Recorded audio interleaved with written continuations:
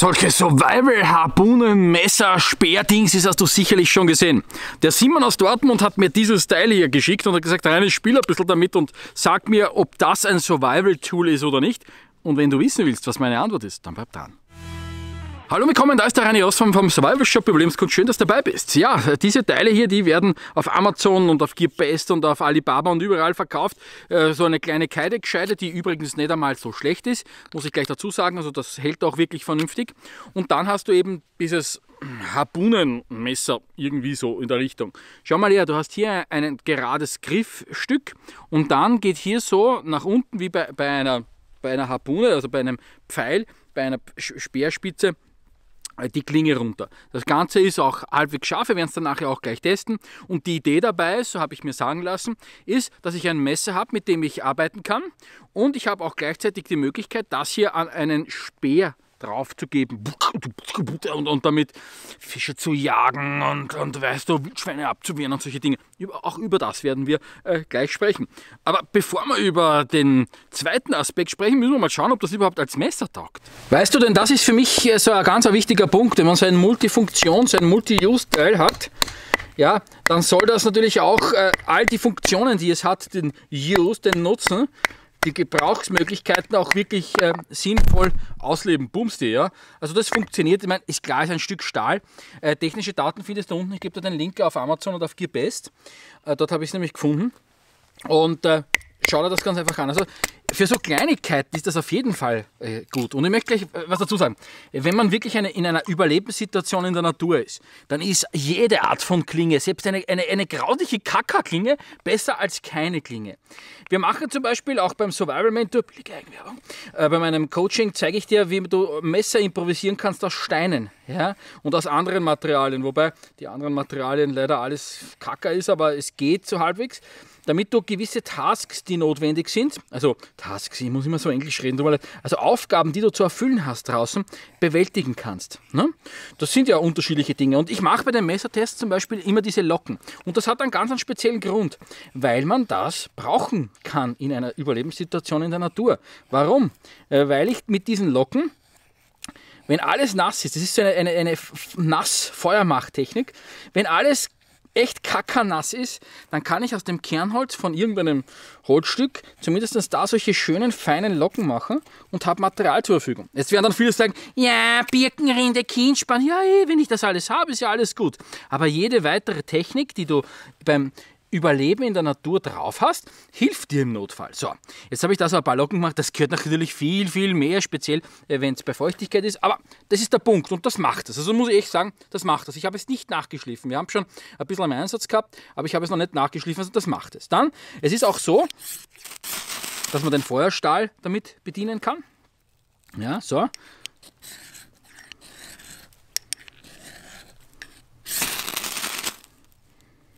Und brennt. So. Also auch das passt. Das funktioniert recht gut. Man kann damit wirklich schöne, feine Locken machen. Also klar, das ist jetzt kein Haumesser, wo ich so, boah, da haben wir da, da wählt ein Loch raus oder kann einen Baum fällen. Nein, aber so als kleines Teilchen ist es absolut in Ordnung. Es wiegt ja auch fast nichts. Also solche Kleinigkeiten sind damit wirklich gut machbar. Die nächste Aufgabe, die so ein Messer hat in einer Überlebenssituation in der Natur, ist natürlich, gewisse Schnitzarbeiten zu machen.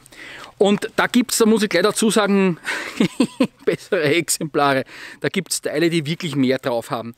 Äh, jo, also das ist einfach, wie man in Österreich sagt, Botschaft zum Nehmen. Äh, wie sagt man das auf, auf Deutsch, Deutsch? Also nicht auf Österreichisch, Deutsch, sondern auf Deutsch, Deutsch. Äh, Botschaft?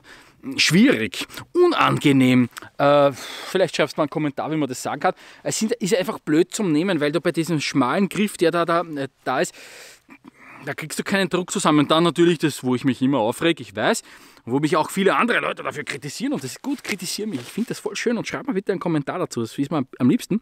Das hier, ich hasse das. Weil das weh tut.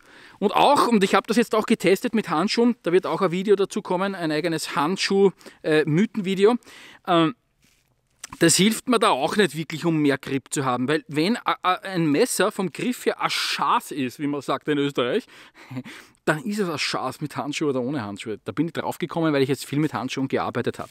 Heißt nicht, dass Handschuhe schlecht sind, nein, aber Themenwechsel. Also das ist schlecht zu nehmen, das ist schwierig äh, zu nehmen und da gibt es Besseres. Gut, also Gut, ich, meine, ich habe da jetzt eine Sollbruchstelle an der Stelle gemeint, das ist okay. Power Cut, das ist natürlich alles machbar, aber das ist halt nicht so einfach und nicht so schön zu machen wie bei einem, bei einem richtigen Messer mit einem richtigen Griff. Und auch dieses kleine Teilchen hier da, an der Stelle, das kann mit der Zeit wehtun. Also das haben sie schön verarbeitet, die Chinesen, muss man schon sagen. Aber trotzdem, da muss man ein bisschen aufpassen, dass man sie nicht wehtut. Lange Rede, kurzer Sinn beim Schnitzen. Es geht, es geht, es braucht viel mehr Energie und es braucht viel mehr Aufwand, aber besser als nichts ist es allemal. Jetzt wollen wir uns zum zweiten Aspekt von diesem Teil näher unterhalten, nämlich Wildschweinabwehr und Fischjagen. Also ich habe grundsätzlich nichts dagegen, wenn das irgendjemand mag. Aber überlegen wir mal ganz, ganz, ganz, ganz logisch. Fangen wir mit Fischen an oder mit Jagen von Tieren. So. Wenn ich mir jetzt vorstelle, ich bin hier unterwegs im Buschkraftareal, wie gesagt, billige Eigenwerbung, Link findest du natürlich unten auf faldola.at und ich bin hier unterwegs und es gibt hier einiges an, an, an Wildtieren. Es gibt von den ganz kleinen Mäusen, also den Blödsinn, das machen wir mit einer Falle. Gibt es Informationen bei meinem Nahrungs-Online-Kurs? Zeige ich da natürlich. Die fangen wir lieber mit einer Falle oder auch Eichkatzel. Eichkatzel, selbst wenn ich da so einen Speer drauf. Ja, das, äh, nimm einen Wurfstock und das musst du auch üben und auch das müsstest du üben. Also, wenn du das nicht übst, das vergiss es. So, Rehe. Komm an die ran. Wenn du so nah an die rankommst, dass du ihnen das hier so reinjagen kannst, dass die davonlaufen und irgendwo dann verenden, das möchte ich sehen. Ich möchte das wirklich sehen. Es geht einfach nicht so einfach, wie man sich das vorstellt. Ja? Und außerdem, noch einmal, was bringt es dir, wenn du dein, eigen, dein einziges Messer in das Reh reinwirfst? Ja? Und ich bezweifle noch immer, dass du nah genug rankommst und dann auch wirklich triffst. Und dann steckt das da drin und dann läuft das. Na, glaubst du, dass du das mit dem niederstreckst? Niemals! Niemals! Vielleicht von 10.000 Mal einmal, dass das durch einen Glücksschuss passiert.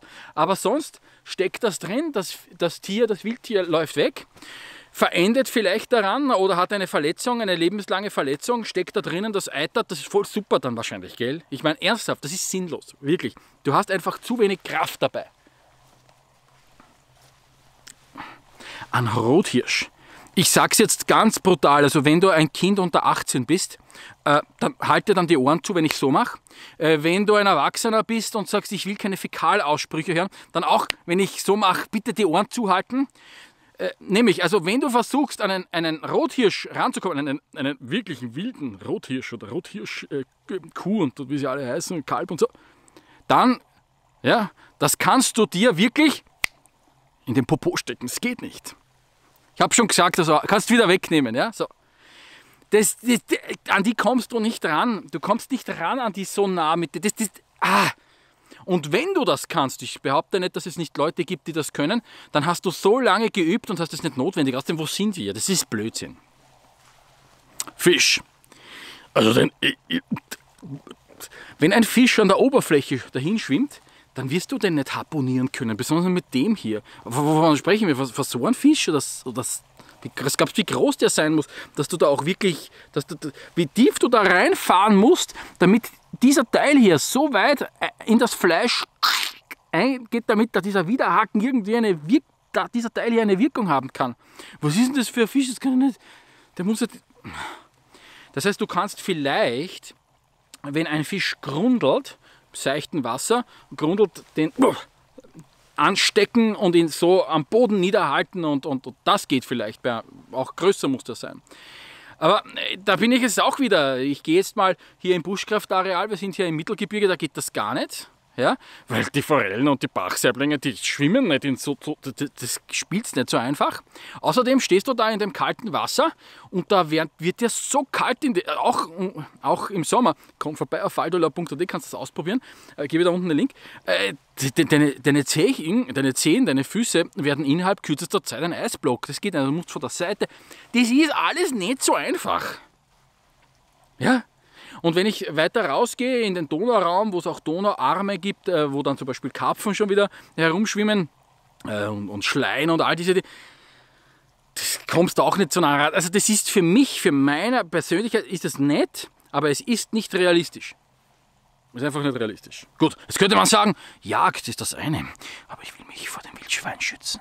Wildschweinangriffe sind im Moment ein Thema. Das kommt immer mehr, weil es immer mehr Wildschweine gibt. Und äh, ich habe mir das Thema schon vor Jahren angeschaut und habe es jetzt über die letzte Zeit beobachtet und habe jetzt äh, sehr viel Expertise, sehr viel Zeit darin investiert in das Thema Wildschweinangriffe, mit Leuten gesprochen. Und es wird in, in, in Kürze, also im Frühjahr 2020, ein eigenes Buch äh, zum Thema Wildschweine und Wildschweinangriffe und solche Dinge geben. Ich gebe da unten den Link für weitere Informationen, wenn du dich für dieses Buch interessierst. Aber der Punkt dabei ist der, ich habe mir angeschaut, ja, wie solche Wildschweinangriffe ablaufen, laufen, wobei die eh relativ selten sind. Ja. Und ich denke mir, wir kennen das von den Survival-Serien, da biegt sich, die binden sich dieses Messer da vorne drauf, damit sie dann nachher das Wildschwein gegen das böse Wildschwein sich verteidigen können. Das geht vielleicht bei einem kleinen Frischling. Aber wenn eine Bache oder ein Eber oder Keiler vor dir stehen, und zwar so gescheit und selbst die, die Halbstarken, die Überläufer, das sind schon richtige Apparate. Die sind so schnell, die sind so kraftvoll, wenn sie denn wirklich so weit kommen, dass sie die angreifen. Da haben Leute, die echte Schusswaffen haben, teilweise keine Chance. Und wenn ich mir vorstelle, dass du in ein muskelbepacktes Panzervieh so nenne ich das Wildschwein, das hier reinrammen willst, um es damit aufzuspissen, dann geht das durch das Wildschwein durch, durch, durch, durch, durch, durch, durch, durch, durch. Das ist ein Blödsinn. Es kommt so viel Energie auf dich zu. Also noch einmal, das hier als Abwehr für, eine, für ein Tier anzusehen, so wie wir das in Survival-Serien sehen, der sich bei diesen Survival Duo dann später, da gibt es ja auch viele und da gibt es eine Folge, wo der Militär, äh, der aus dem Militär, Militäraffine sich das vorne drauf, Verteidigung ist das Erste, was mich interessiert. Und ich verstehe, dass ein Soldat so denkt, ja, aber gegen ein Wildschwein ist das sinnlos. Blödsinn. Das kannst du für deinen Kopf machen, wie sehr viele Abwehrgeräte eigentlich für den Kopf da sind, aber das ist eine andere Geschichte. Aber keinen Praxisnutzen, echt nicht. Ja? Ich konnte das natürlich nicht testen bei einem echten Wildschwein. Das kann ich will das auch nicht testen bei einem echten Wildschwein. Aber das funktioniert nicht. Das sagt der, der, der, der normale Menschenverstand sagt das. Also noch einmal, fügen wir, äh, führen wir zusammen. Ja? Nummer eins. Nummer eins. Jagd, vergiss es. Ja? Vergiss es. Ja? Wenn schon Bogenjagd absolut schwierig ist, besonders mit irgend so, so einem Schmoren da, vergiss es. Dann kannst du nicht mit einem Speer warten, du kommst gar nicht nah genug ran. Fischen, pff, such dir Vari Varianten, die wirklich funktionieren, kommen dann gleich dazu. Und auch dieses Abwehrthema, das ist ein Blödsinn. Und wenn ich ein Tier habe, der nicht ein Wildschwein ist, das ich abwehren will, dann reicht der Stock. Weil manche sagen, tollwütiger Fuchs.